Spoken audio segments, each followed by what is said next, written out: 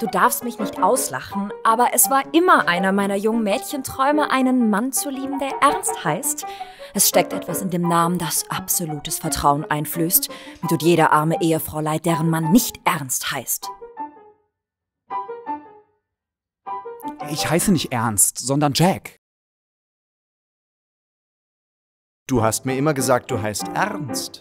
Ich habe dich immer vorgestellt als Ernst. Du hörst auf den Namen Ernst. Du siehst aus, als hießest du Ernst. Du bist der ernstest aussehende Mensch, dem ich je begegnet bin. Es ist völlig absurd zu behaupten, dein Name wäre nicht Ernst.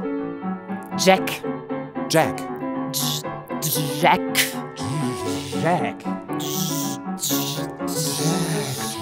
Jack. Jack. Hm. Nein, klingt nicht. Keine Musik. Jack elektrisiert nicht. Der Name erzeugt keinerlei Vibration.